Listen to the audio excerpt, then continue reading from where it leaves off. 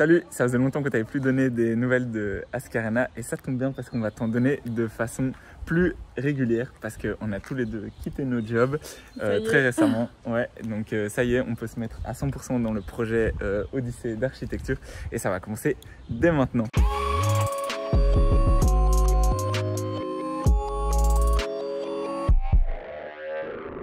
On s'est dit que c'était pas plus mal de revenir deux secondes sur ce que c'était que Odyssée d'architecture. On l'a présenté il y a un an, mais depuis ça a beaucoup évolué. On a vachement affiné notre projet. Et donc, ça reste un peu la même chose qu'il y a un an, mais Odyssée d'architecture, globalement, c'est quoi? C'est nous deux, deux architectes qui voyageons à travers le monde pour te faire découvrir les architectures modernes, contemporaines, insolites et aussi traditionnelles, un peu tout type d'architecture et aussi l'architecture qui est en lien avec la culture parce que selon nous l'architecture est à chaque fois le miroir de sa société. Et c'est vraiment euh, notre leitmotiv depuis euh, qu'on a démarré euh, cette chaîne. Pour te replacer un petit peu le contexte on va partir très prochainement en Afrique parce que ce sera le premier continent qu'on veut découvrir à fond au travers de l'architecture. Oui et ce qui nous tient aussi à cœur à côté de l'architecture c'est rencontrer les acteurs locaux et apprendre beaucoup d'eux. Pour ce faire on va voyager à bord de notre 4x4 qu'on a nommé Ascaré que tu as sûrement déjà vu sur certaines vidéos. On va l'aménager pour être autonome, donc ça demande beaucoup d'organisation, beaucoup de réflexion. Nous qui sommes architectes, on a envie de faire ça bien, on a faire ça minutieusement. Et de faire tout nous-mêmes aussi. Voilà. Étant donné que ça fait un an qu'on a acheté Ascarena et qu'on voyage avec lui, ça fait depuis un an qu'on a établi une liste de besoins. On aura principalement besoin de se protéger de la chaleur. On veut le créer un aménagement qui s'ouvre le plus possible vers l'extérieur pour être le plus en contact avec les gens. En résumé, on veut créer tout un aménagement qui soit compatible à cette expédition et si quand on rentre, on va dans un autre continent, eh on refera peut-être l'aménagement pour une autre expédition. D'où pour nous l'importance d'utiliser le plus possible de matériaux de récupération parce que les besoins ils changent tout le temps et surtout en fonction de là où on va. Donc toutes les découvertes qu'on va faire et tous les apprentissages euh, qu'on va pouvoir euh, te présenter seront présents sur euh, YouTube, Instagram et sur notre blog. Tu as tous les liens en bas de la vidéo si tu veux découvrir tout ça plus longuement. On veut vraiment essayer de te partager un maximum. Et là, on se donne trois mois, juin, juillet, août, pour tout préparer, le, le 4x4 et tout ce qu'il y a autour de, de ce voyage. Et on part le 1er septembre. il nous reste encore tellement, tellement de choses à faire. Mais du coup, ça va être euh, hyper intéressant de voir si on arrive à, à tenir cette euh, date. C'est un peu stressant, mais c'est chouette. Ouais, on découvre plein de choses. Exactement.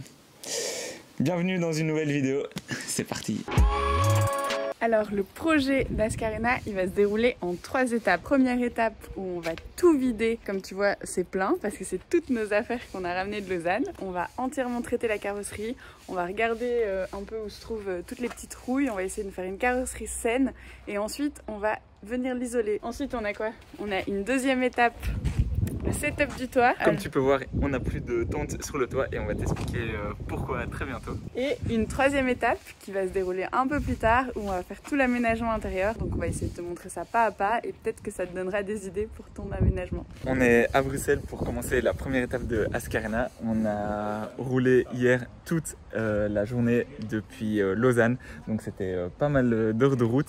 Et comme tu peux le voir, Ascarena, il est plein à craquer. Donc c'était vraiment un super bon test pour euh, les suspensions pour voir si ça résistait. Et comme tu peux le voir, il n'y a plus rien qui s'ouvre quoi. Ah mais c'est ça. Ah ouais, c'est bloqué. Bon, comme tu peux le voir, il est plein à craquer. Donc euh, la première étape, ça va être de vider tout ce qu'il y a euh, à l'intérieur. Allez, go.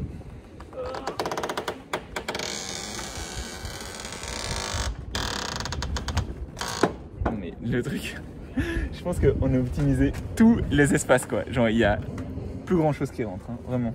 Mais il euh, faut quand même se dire que c'est vraiment toutes nos affaires. Jusque là, il y a des trucs. Je trouve qu'on a été pas mal en niveau Tetris, on commence à avoir euh, un niveau plus plus.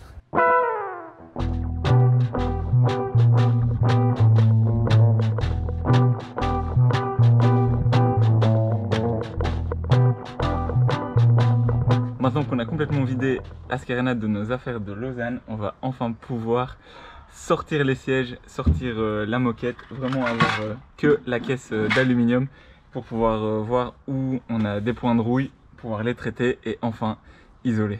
Mais avant ça, va quand même falloir ranger tout notre bordel. Ouais, ça va pas être facile, hein. Ouais. Et puis ce gros carton là, va falloir qu'on t'en parle bientôt. Très bientôt. Ouais, mais ça, c'est la deuxième étape. On va tout, pas tout Ça c'est la deuxième étape. Patience, patience. Deuxième jour de travail sur euh, Ascarena, il est enfin vide. On va pouvoir euh, enlever euh, les sièges, toutes les moquettes. Tous les plastiques des portes. et faire un gros gros nettoyage. J'espère qu'on va pas avoir de mauvaises surprises.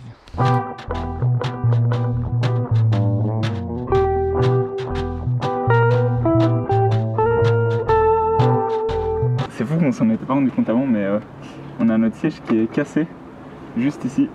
Donc euh, il y a la vis et elle soutient plus du tout la, structure. Il s'est brisé juste là, donc euh, petit travail de soudure à faire. On s'en était vraiment jamais rendu compte, ça c'est assez intéressant quand même. Ça fait partie de toutes les choses qu'on va découvrir, je pense, en nettoyant Mascarena.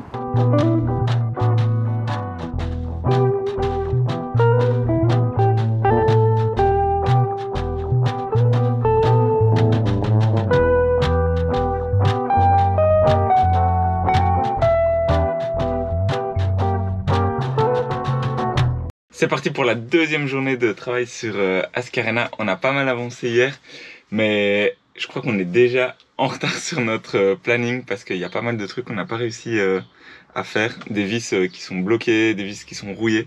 On perd à chaque fois pas mal de temps avec ça. Mais comme tu peux le voir, il y a déjà plus de sièges à l'avant et c'est pas plus mal de les avoir enlevés parce que c'est vraiment tout sale.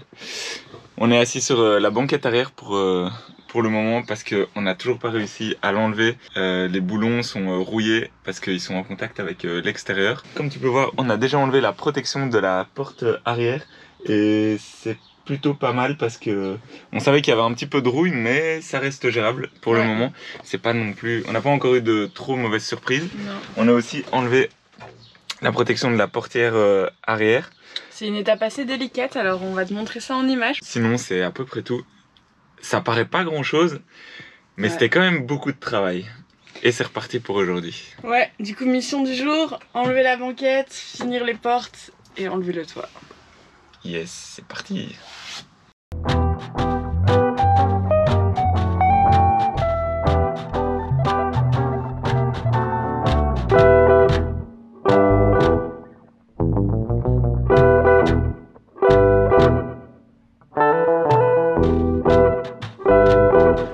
En fait, c'est en une fois ce truc. Enfin. Tu vas pouvoir filmer. C'est en une fois, mais c'est de la merde. Ouais. Bon, on se rend enfin compte de tout l'espace qu'on va pouvoir utiliser. Plus qu'à nettoyer. Ouf, ça va être du boulot. On peut enfin enlever ces moquettes toutes pourries là. Oh, la poussière qui part. Pas complètement.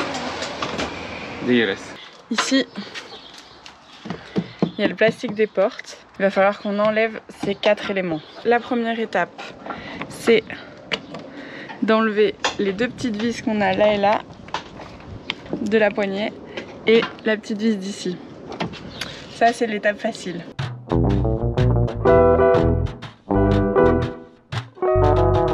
Donc voilà, les vis sont enlevées. Maintenant, on peut faire glisser ce capot.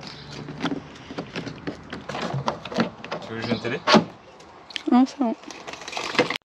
Alors, on passe à la partie 2 qui est un peu plus délicate. On va enlever le structure autour du petit loquet. Il faut y aller délicatement.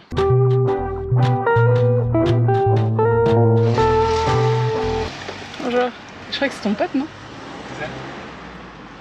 Avec une plaque française. Maintenant, on passe au, euh, au roman de vitre. hein. Quand tu fais levier, il y a une petite bague en métal et c'est ça qu'on va devoir venir chercher. Voilà, donc j'ai réussi hyper facilement pour la vidéo, mais c'est parce que j'en ai fait deux avant pour m'entraîner. Parce que franchement, c'est pas facile. Et, et alors maintenant, on va enlever tous les petits clips qu'il y a partout dans la porte. Donc aussi y aller délicatement, comme ça ça évite de casser. Mais bon, il y en aura qui sont cassés, c'est comme ça.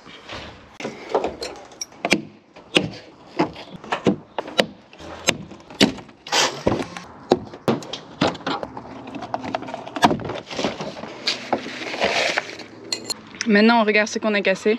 Donc ici, on en a cassé un. Bah nickel Juste un seul de cassé sur la porte. C'est une victoire Beau travail, Agathe Alors du coup, maintenant, pourquoi on a fait ça? Pour déjà nettoyer toute la crasse qui est à l'intérieur et ensuite traiter tous ces points de rouille qu'on voit ici. Et ensuite, on va mettre une plaque d'isolant euh, anti-vibration pour essayer d'isoler le plus possible du bruit, surtout l'habitacle avant.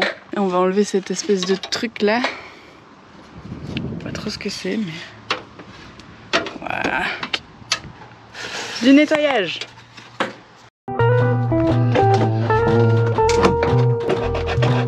Donc là, c'est enlevé. Celui-là, il s'enlève comme ça.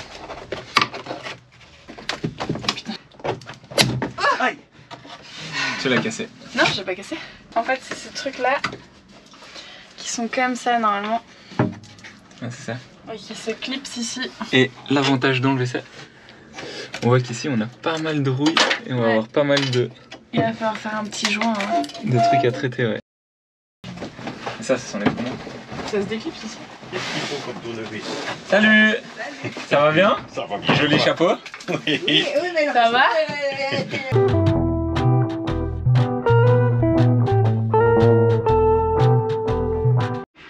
On a un peu moins de chance avec l'autre côté. Ce côté, il est en super état. Pas de problème, je pense que tu vois. Par contre, celui-là, c'est la cata. En fait, il y a un joint là. Mais je pense qu'il y a l'eau qui passait en dessous quand même.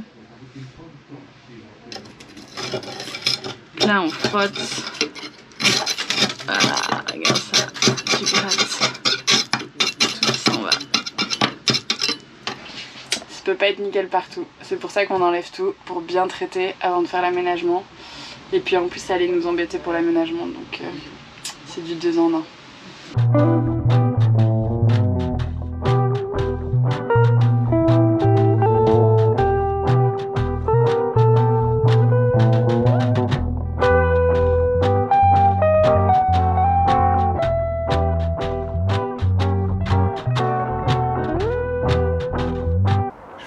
Attention aux câbles à pas les toucher, les câbles des lumières Ouais. du toit, mais il n'y a plus de batterie du coup, il n'y a pas de risque.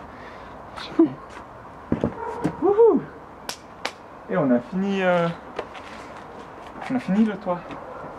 Il est vide. Et voilà. Grosse truc de fait. hein. Ah, il y a des araignées mortes là-bas.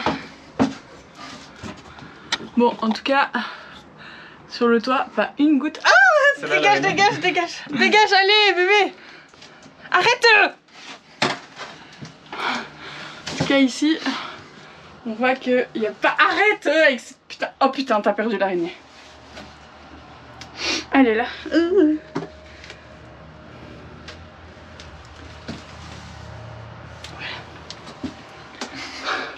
On voit qu'il n'y a pas d'eau qui est rentrée. Hein. Ces joints, ils sont nickel quoi. Toute la, ouais, toute la toiture est nickel. On était un peu inquiet de savoir comment on allait fixer nos meubles parce que on aimerait faire le moins de trous possible dans la carrosserie parce que on est un peu psychopathe euh, des carrosseries euh, nickel. Non, pas le moindre trou, zéro trou. Zéro trou si tu veux, mais ça me semble compliqué. Bref, on aimerait bien essayer de faire aucun trou donc dans la carrosserie, mais on sait que c'est compliqué. Mais on se rend compte qu'il y avait déjà pas mal de trous qui étaient faits, comme ici. Donc va falloir faire fonctionner notre petite tête. Pas Ah. mal d'idées déjà qui arrivent. J'ai pas mal. Le fait de le voir déjà tout nu, tu, tu réfléchis à plein de choses en fait. Tu te rends compte de plein de choses.